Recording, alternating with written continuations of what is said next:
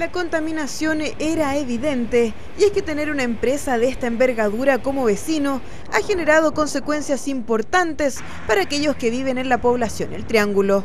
María vive hace más de 20 años en este lugar y ha sido testigo de la conflictiva relación con la empresa.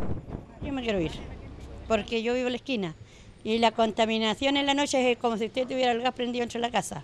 Ayer mismo anoche echaron a caminar esa más cuestión que tiene industria, la zonajera no se escuchaba ni la tele, a todos chanchos que no dejaban ni dormir. Y el olor, más encima que el olor y más encima la contaminación de basura que vienen a botarlo, así los guarenes andan dentro.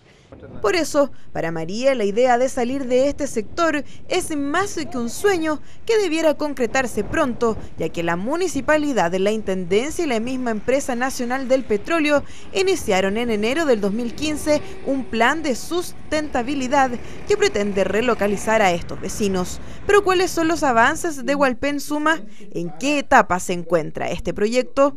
Hemos estado revisando la documentación, hay un equipo de profesionales multidisciplinarios quienes están trabajando con las familias y están viendo caso a caso, juntando la documentación, eh, constituyendo los comités de vivienda. Ya los primeros días de marzo se constituyeron estos comités, que son quienes finalmente van a llevar el proceso adelante.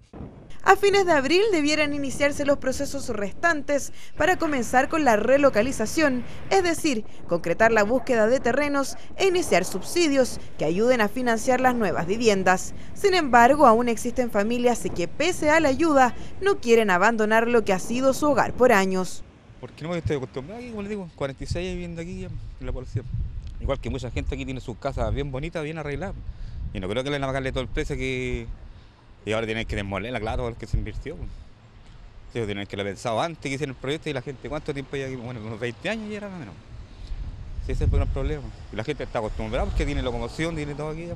Y para irse para otro lugar, para conocer en detalle los porcentajes de quienes están a favor de la relocalización, es que el equipo del proyecto continúa con los trabajos para obtener cifras precisas. Hay una serie de trámites en los cuales los profesionales contratados por ENAP están eh, colaborando con las familias para provocar este ordenamiento y que facilite la postulación a la fuente de financiamiento de la relocalización, que principalmente es el subsidio. Erradicación de vecinos que debiera concretarse recién cerca del 2018.